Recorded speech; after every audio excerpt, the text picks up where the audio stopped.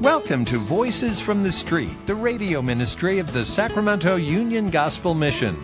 Prepare your heart for laughter and tears as we share the unpolished stories of the homeless and hurting, hope and transformation.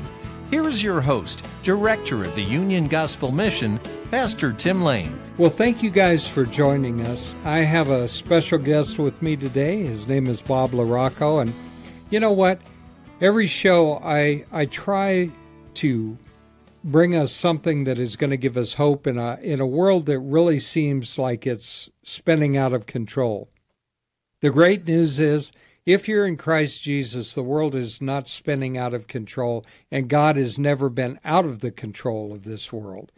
Although right now it's not the world we grew up in, it's it's changed, it's morphed, and many of us, especially as you reach your 50s, 60s, 70s, you just feel somewhat out of place.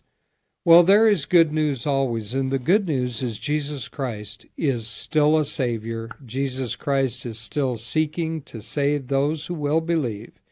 And so I have with me today Bob LaRocco. He has uh, gone through our program. He's the first member of what we are calling Redemption House, which is a house that we bought in downtown Sacramento to take men from the program who have really who are really really trying to bring their lives back into focus. And so he's graduated the program. He's in a healthy, well balanced church. Uh, at least he's visiting some of the ones that he still wants to go to. And so, you know, that's all part of it. When I left the church uh, a few months ago that I had pastored, I'm in that same boat that I need to find a healthy, well balanced, Bible believing church and it's like a marriage. If you truly believe in membership in a church and you truly believe that being part of the the church of, of the living God means that it is like a family, then you don't just go out and pick a church and in a week decide you're going to join it. So it takes a while to really know where God is leading you. So, Bob LaRocco, uh, I'd like to introduce him to you, and I would like uh, like you to listen to him because I think his story is it's a fascinating one. So Bob, welcome to the show. Hello, thank you. So how long ago did you graduate? Uh, I graduated what uh, the twentieth, twenty first of this month. Yeah, believe so. So Bob, uh, tell me something a little bit about your background. What what brought you to the mission? Uh, how'd you even hear about the mission? I heard about the mission through the woman that I was living with, uh, renting a room from. Um, she's a Christian woman, and she listened to the station, and I was, um, she knew I was falling away from God. Uh, and one day she said to me, because she knew I was, I was having a hard time. I was starting to do all kinds of bad things, drinking. So what, you know, just just just living my life not a court not how god would want me to live and i knew that and i was going down a hole um, but she introduced me to the gospel mission she said well maybe you should get she said well, you need to get god back in your life because i was uh, uh, raised catholic for my childhood how did she know years. about the mission she found out through her church which is uh, in citrus heights mm. um, it's uh, Fair Oaks Church. Mm-hmm. Um, I think that's what it's called too. It's off uh, right in Fair Oaks there. Uh, I think it's off of Madison. I'm not positive though. Well, but, there's a couple of bigger churches out there. There's Fair Oaks Presbyterian. There's Fair Oaks Baptist Church. But at any rate, it's a church that she'd been faithfully going to, I assume. Yeah, and she heard about it through one of her, her friends that go there and she told me about it. So I looked you guys up online, and I, I looked you guys up, and I uh, what grabbed my attention was uh, Rudolph Willis uh, testimony. yeah, yeah, and his wasn't a lot like mine, but I really. Um, I could, I really understood. I, it really hit home with me. He was, his life was spiraling out of control too, and that's where my, my life was spiraling out of control also. So that's that's how that's how I heard about you guys. I looked you up and read his testimony, and then I found out that you guys uh, actually helped. I wasn't really looking for somewhere to stay per se. I was just looking for something to get back in with God. Um, well, you weren't out on the streets. You were a finished carpenter before you came to the mission, right? I mean, it, right. it is so oftentimes people think that that if you come to uh, the Union Gospel Mission, you have to have come out of prison or you have to come off the street, and that wasn't your scenario, right? No, it was not. Um, I did lose my car because I got in a terrible car accident and I walked away from it. That was that was a miracle mm. in itself. Um, just it was a flat out miracle. I should have. I didn't hurt anybody. I didn't hurt my. Well, I got seven stitches in the back of my head and I walked away. Took a, and I took a taxi ride home from the uh, emergency hospital. Walked through the front door and went, "Thanks God." No. yeah, I've escaped. yeah, missed that one. But um, that was a real. Uh, knock on the door saying, "Hey, man, you gotta get your stuff. You gotta get your stuff together. Or you're gonna, you're gonna, you're gonna end up dead." I mean, that's what I was telling myself. And that's what people around me were, especially the woman Kathleen. There's is her name. Uh, I lived with her for 17 years. We are in a room from her. Just really, very close friends. I was a good friend with her son uh, Tyler. Uh, he played rugby at Davis, and uh, just uh, been. I was I was a family friend. and just became part of their family. Very nice. So, yeah. Yeah, as a matter of fact, when you were being interviewed at the final interview before you graduated, I remember you said that about living with this woman, and she was, and and I was taken a little bit aback, and I and I asked, well, uh, Bob, could you? Uh, you said you were living with a woman. right. He said, well. I was I was renting a room from her. I said, "Oh, okay." right. yeah, no, you're not the first person that said that, or it's always go what? no, well, yeah. let me ask you something. Uh, I assume after all the years that you'd been living at her place, you've been renting a room, you're a family friend, she's a believer, and she's talking to you about Christ, and she's telling you about the Union Gospel Mission. You decided to come. Did you did you realize that you were functioning without God in your life at that juncture? At that juncture, yeah, I, I well, I realized how I realized how far away I was.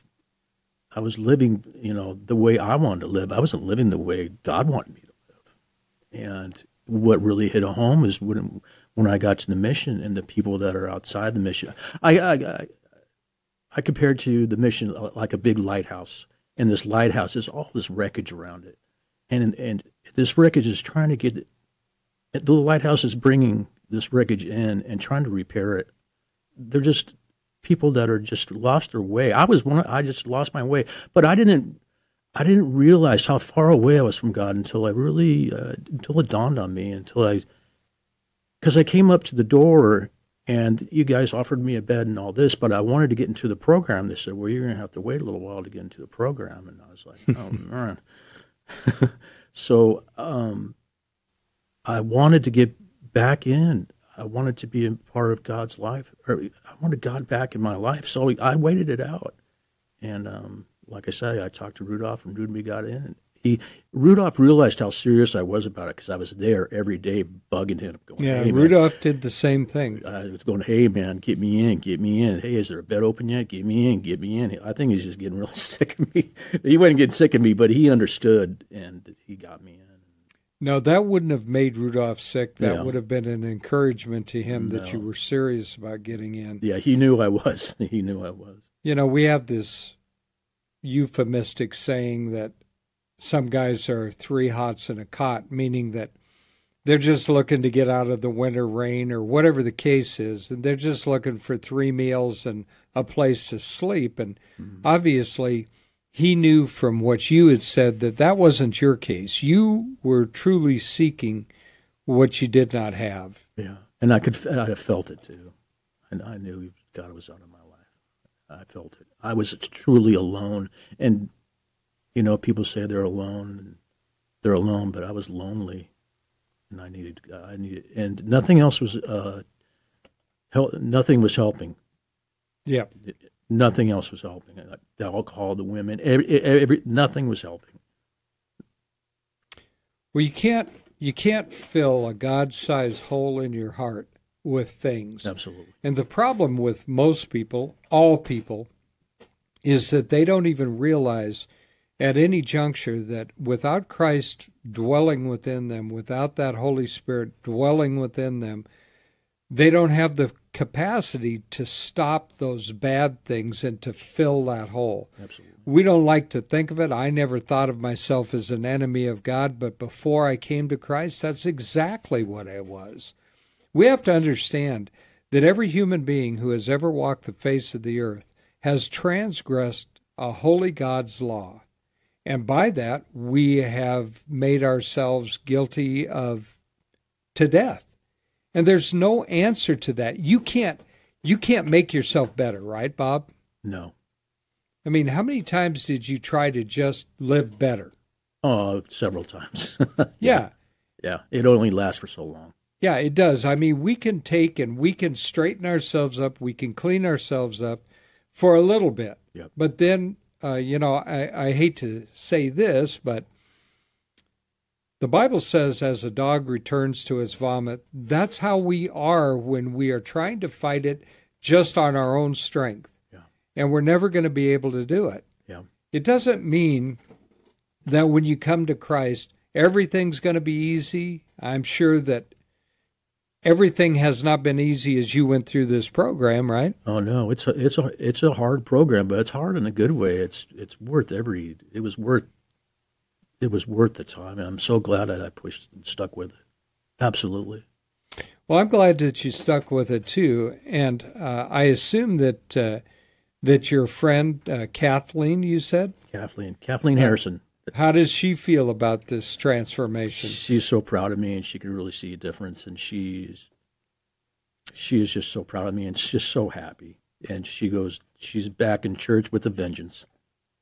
She has she was she was slacking off a little bit herself, going not going to church, skipping Sundays. You know how we do, and I do know how we do. Get, get a little bit too comfortable and she saw a difference in me and she boy oh boy man she's back in it she's back in the saddle well so then there was a mutual thing there absolutely god used her mm-hmm. to direct you to the mission and then your transformation helped remind her she was already a saved woman but uh, you're starting to slack off and there's danger there when we when we say, you know what, I can skip this Sunday, I can do this, uh, I think I'd rather go do this, you put yourself in harm's way, right? Absolutely. Yeah, when things start going, that's that's it, you say that. It's funny you say that. When things start going really well in our lives, that's mm-hmm. the time you got to stand back and go, "Hey, who gave me all this?" Remember that.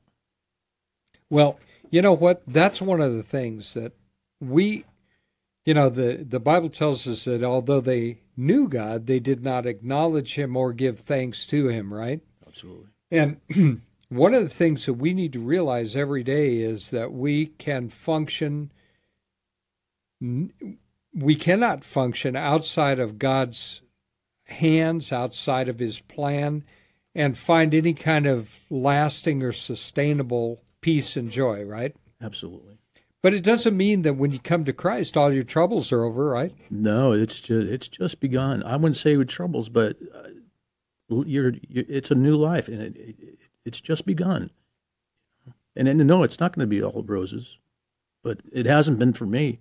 It's there's been tough times, but nothing that I can't get over with God. Nothing, nothing's impossible when you got God on your side. Absolutely nothing. Well, you know what? It's a funny thing uh, when I talk to people, in your case, let's say, you're a finished carpenter. It doesn't mean you're never going to hit your thumb with the hammer again. That's right. And it's not going to be that, oh, you know what? I, you know, oh boy, I, I hit my thumb with the hammer. I'm so good. No, you're going to be angry. and because nobody wants to get hit with a hammer. Just like when people come to Jesus Christ and they think, okay, well, all my financial troubles are over, that is not it. But here's what is over your fear of hell and death vanishes. Yes. Because Jesus Christ has never, never in all the history of humanity has ever broken his word. Absolutely. And so if you are in Christ Jesus, you can be assured that he is going to be with you and that you're going to make it to the finish line, right? Yes, sir. Yes. But not perfectly, right? Not perfectly, but but uh, I will make it. So you have some plans. Uh, first of all, we got you. I, I mentioned the fact that we have Redemption House, which is a house that we bought thanks to all of you guys. We wanted to put the money into a house where it was centrally located to many of the churches in in our area, and so this one happens to be right down off East Street. So we're very close to several churches, including Emmanuel. I don't know which ones exactly you visited, but I've, I've, I've visited Emmanuel with Ralph King and uh, Sun River in Citrus Heights. Mhm, with Jeremy. Yeah. Okay, good. So just the two so far. Yes, sir. All right. So I uh, I I got to tell you, just like I alluded to, you know, for over well over forty years, I have been the member of a church, pastoring the church, doing those type of things, and even before that, my wife and I were members of a church, and so I had forgotten what it feels like to be a stranger. And you know what? Churches out there, I've been to several churches, and some were not very welcoming, not very warm. I was just that single man because I didn't have my wife anymore, single guy coming in. And uh, I thought, well, I'm I'm certainly not going to wear a logoed shirt because I don't want them to know who I am, and I just want to see how it goes and get a feel for it. So sometimes I have to go out and say, "Hey, I'm Tim. Uh, what's your name?" But churches, our guys, especially ones who have never been church, don't even know what the protocol is to go to a church, right? Absolutely. I mean, you had Jeremy who took you, right? Mm-hmm. And you had Ralph who took you to Emmanuel, right? Mm-hmm. How would you feel if you were just out there roaming around looking for a church? Oh, it's it's very intimidating. Intimidating, um, because yeah, you're you're the new guy, and and this and the people at the church are all you're coming into their their home, their church, and they know the new guy when they see the new guy. So it's it's good to have to bring somebody with you, um, and it's good to get in good to get into service right away with the church and Yeah. become a member. That's what you want to do. You want to get into service. That's how you're going to start meeting people, shaking hands, helping out people. That's the best thing to do. Yeah, you know, we often refer to them as pews, and most churches have not pews anymore, but they have nice cushy seats that interlock, which even the church I was pastoring had the nice interlocking seats with the lumbar cushion. And uh, the older I get, the more I appreciate that kind of stuff, right? But the bottom line is, we often say you don't want to be a bench warmer. When you get into a church, you don't want to just be a visitor for the next 10 years. That's right. What you want to do is you want to get involved in the church. You want to be of service. And it doesn't mean you have to be an elder or a pastor or a teacher, but there are numerous ways to serve. And so once you get in there to be part of it, and listen, actually becoming a member of a church, you know, I mean, when we would make somebody a member of the church, we would always ask, you know, the church, do you, do you promise to love these guys and, you know, do those things? And so the churches need to be welcoming and you need to be if if they're not forthright in coming and I don't mean honest, I mean if they're not coming to you, then you need to get over that fear and start shaking people's hand and introducing yourself, right? That's right. Absolutely. And when you've done that, do you feel like they rejected you or, or they were welcoming then? Oh no, they're it, both churches, Emmanuel and uh, Sun River, the open arms, open arms, and how you doing? Nice to meet you. What can I do for you? What would you like to know about our church? Yeah. On and on and on. Yeah. Well, as you know, uh, Robert Briggs is the church of, uh, he's the pastor at Emmanuel Baptist Church. And I've known Robert for years, and I went there the other day, and it was truly welcoming. And, and there are other churches in our area. I have not been out to Sun River yet. I know Jeremy is going out there, but uh, I've heard they're also very welcome, welcoming, and it's it's pivotal when you get people, especially guys like I said that have never been churched, and so think of this: you're going to go out, and a lot of our guys, you're going to laugh if you've been in church your whole life. They don't know if they have to call, if they're supposed to make an appointment to come to church what do I do? Am I going to be welcomed in there? Do I have to sign something? And I there might be churches like that, but I've never run into one. Most churches just want you to come and they will they will tell you all about themselves, right? Yes, they will, absolutely. If one church is a little standoffish, you don't be. Yep. So, you know, uh, we've got about three minutes left of the show, and then I'd like you to stay over for one more show. But I want to get into a little bit of your background because it isn't like you never made any money. yeah, made plenty of money. Yeah. Yeah. I mean, I don't know if you know about this, but finish carpenters, you know, they're not they're not out there making three bucks an hour. No, no, we make we make some we make some good money, especially especially custom work. And that can be an advantage and it can be a trap. Oh, yeah, absolutely. Because, especially, uh, you've been single how long, Bob? Oh, it's been going on over 10 years now. Okay. And, and uh, so, next time when we get on the show, I'd like to talk to you a little bit about your background, those type of things that you've gone through, what your hopes and expectations are of the next 10 years because you've got at least 10 years of working ahead of you. And what kind of mistakes you made before that uh, now coming to Christ, how do you see that that's going to be different this time? Mm. Because that's the key, isn't it? Absolutely, yes. If we continue to do the same thing over and over again, what does it say? It's the definition of insanity, insanity. right? Insanity, that's right. When we expect a different outcome. Mm-hmm. So now, uh, Bob, what are you? Have you been out there already uh, looking for a position or? Oh, uh, far as work. Mm-hmm. Um, yeah, I'm working with uh, a gentleman, uh, Frank. Uh, he's an old contractor friend I used to mm-hmm. do work for. He's a he's a Christian also. Um, he he was a friend of Kathleen's. I introduced him and Kathleen.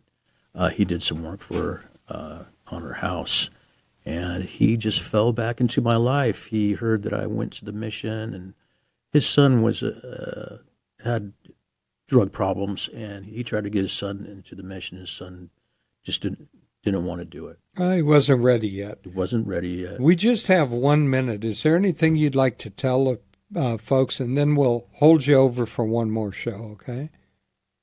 Um, tell uh, tell everybody, you know, God is your savior, savior, and um, he's all, he's all you got. Love him. He loves you. You know what? Uh, thank you, Bob, for coming on the show. And I want you guys to remember that we're going to get into a little more detail next time. So if you guys have the opportunity to tune into the show next week, I would love you to do that. Uh, Bob is the real deal. I'm convinced in my heart that, you know, what he wants from this point on is to walk uprightly before God. So, as always, until we meet again, may God hold you in the palm of his hand.